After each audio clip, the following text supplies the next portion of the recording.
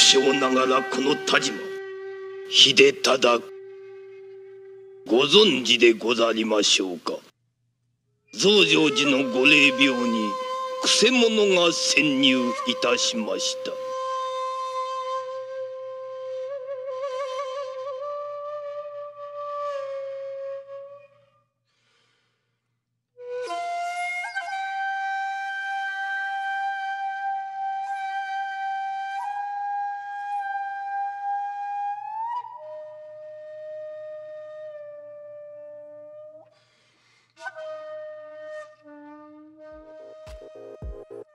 This is my first DSPTCH bag, but it won't be my last, I'm telling you. This is their day pack right here. Now they make this bag in all kinds of different materials. They can have it in a nylon bag. They got a twill version. The one I got today is the Dyneema. And a lot of firsts going on right here because this is my first Dyneema backpack. And that's kind of like the selling point with this bag. The Dyneema, if guys aren't familiar, Dyneema is a material that's super lightweight, but super strong. I've even read somewhere that it's actually tougher than Kevlar in the way you produce it. So we're not here to talk about Kevlar. We're here to talk about backpacks. So we're gonna talk about this one.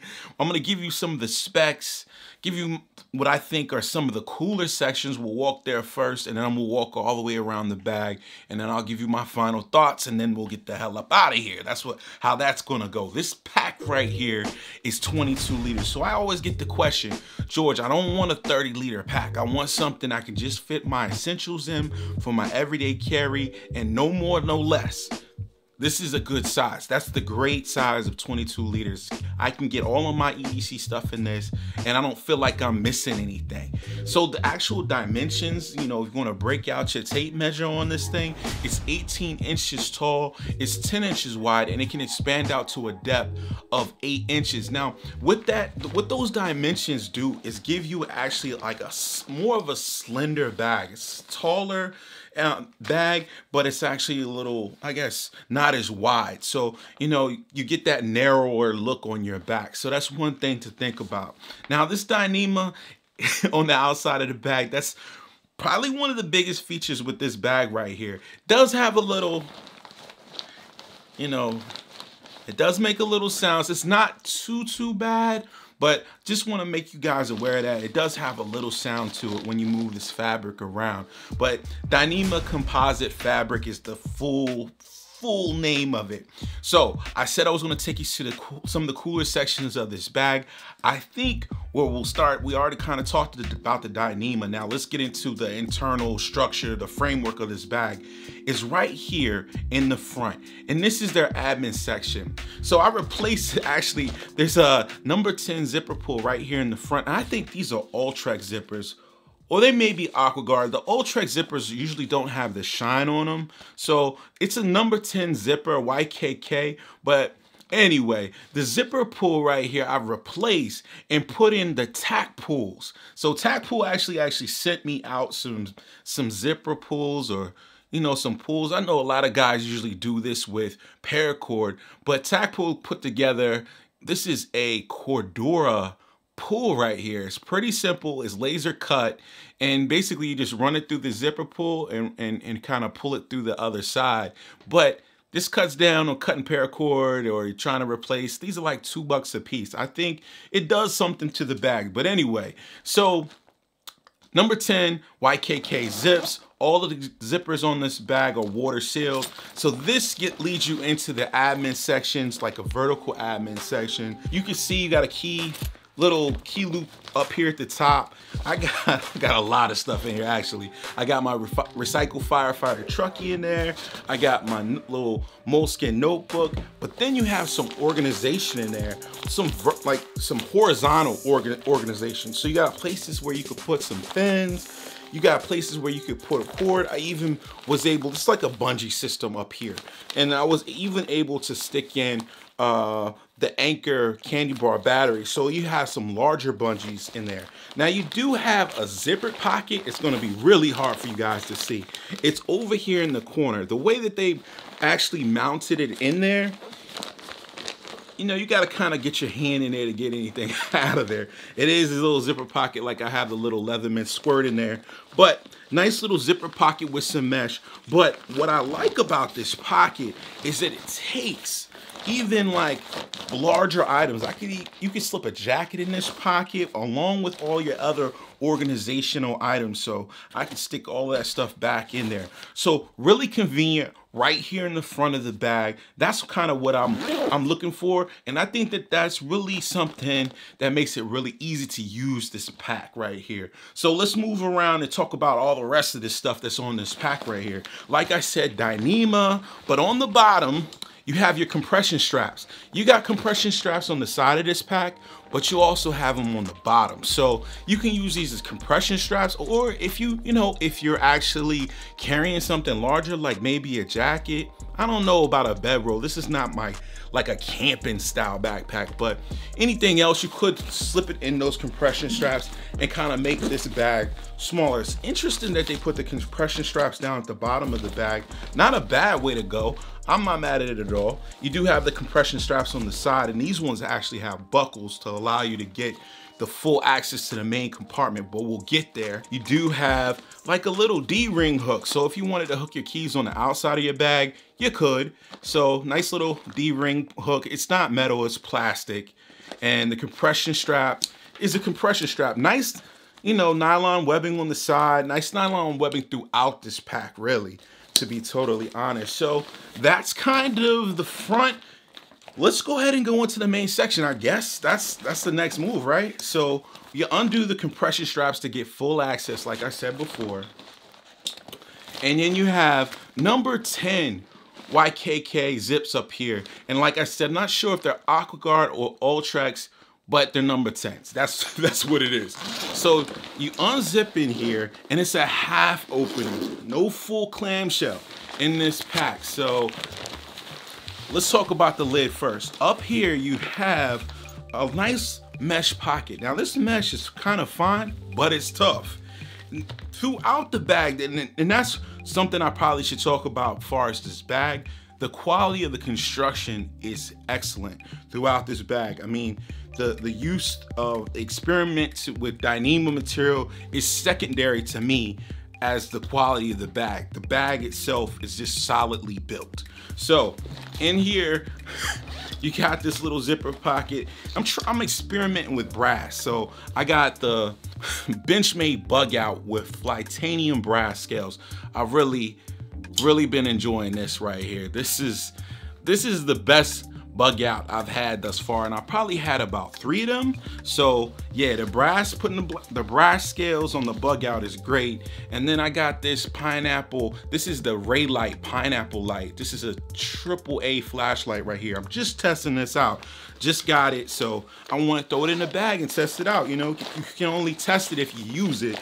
Then on the on the lid, that's really where the organization ends. In the main section, I do have my Sony XM3s and I do have my Adventure Medical Kit. And you can see the space that you have down here. So you got, you have space, I mean, for a lunch, for a change of clothes, definitely you can get away with this. Inside of the main section, there's actually two mesh internal water bottle pockets. And I know this is like a love it or hate it thing. Some people hate it, some people love it, but my 24 ounce CamelBak chute fit in there with no problem. This is this right here is a, a nice little sleeve for documents or folders. And then you have a tablet suspended tablet sleeve right here. So I put in, of course, my 11 inch, well, 10.5, them ain't 20s, 10.5 inch tablet right there. So yeah, and it's got a nice little bucket inside um, buckle. Inside of this pack is a 410 nylon pack cloth and it's DWR coated. So keeping that, you know, weather resistant so the out the exterior shell is gonna kind of hold that water out. So I appreciate that. Any extra steps when it comes to water resistance on backpacks, I appreciate. Let's talk about the laptop compartment. We have the same Ultrex or AquaGuard YKK zips, number 10. So just one zipper glad they put, you know, a water resistant type of zipper in there. Now I tried my 17 inch laptop in here it was like, nah, bruh, it's not going in there. So I had to reduce myself down to my 15 inch Dell XPS, and that fit in there with no problem. Actually, DSPTCH says a 16 inch laptop. So you 17 inch laptop guys won't have to keep looking. This might not be the bag for you guys. So the laptop sleeve itself is padded, it's suspended. It's not you know, it's it's decent, but I like the suspension in this bag. It's a good like half an inch off the bottom. So it wasn't like it was, you know, they say it's suspended and it's not really suspended. It wasn't like that situation. It was really suspended off the bottom. So I appreciate that. Since we're right here on the back, let's go ahead and flip this bag around and talk about the grab handle and the shoulder straps. Now, the grab handle, the way that they did it, it's it's like a box stitch right here. I, I found it to be really comfortable. It's got a nice little pad on it. It is is like the regular nylon webbing that, that they use throughout the bag, but they came back with a nice padded little um, handle right here. So buttons, you could take it off, but I don't see why you would want to. But this is pretty decent. There are load lifters on this pack and you guys know how load lifters work. You pull them, they pull the load higher and closer to your back. Now I'm getting to the thing that I really enjoyed on this pack. And I was surprised because when I pulled it out and I was like, nah, I don't know about that back panel. the, the back panel is good. It's really good. The shoulder straps themselves, so this is a 22 liter pack, smaller pack, but the shoulder straps are wide.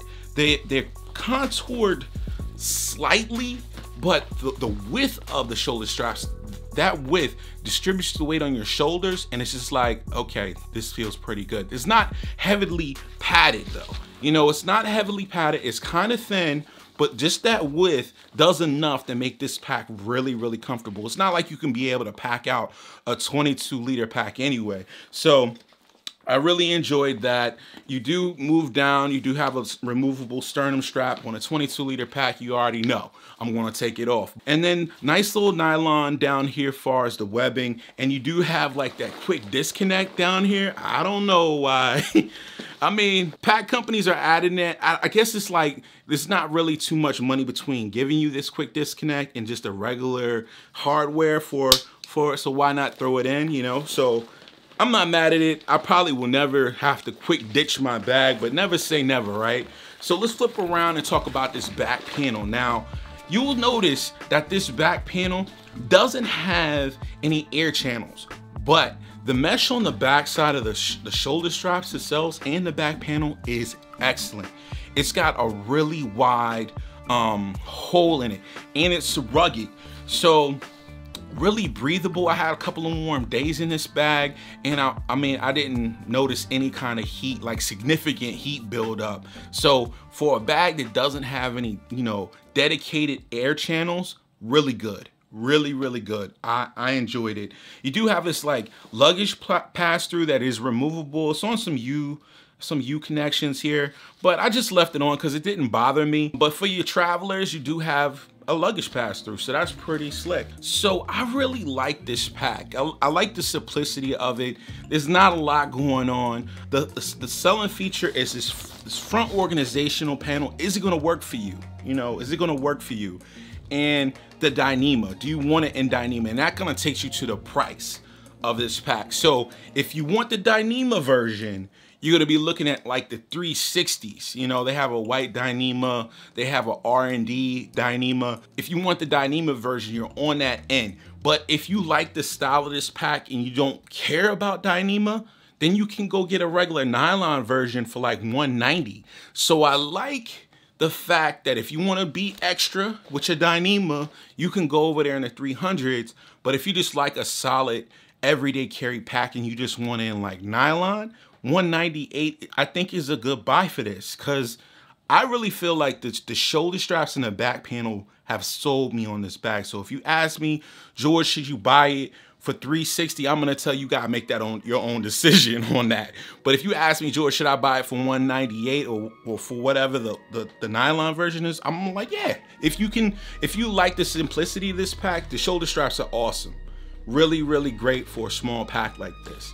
So that's it guys that's the wrap guys if you like this video hit the thumbs up button if you loved it subscribe to the channel because it's totally damn free And if you got a question, you know what you do. You leave it down there in the comments. I'll get back to you with the answer, or I'll try. You know, like I'm not the smartest guy in the world. I'll try to give you an answer.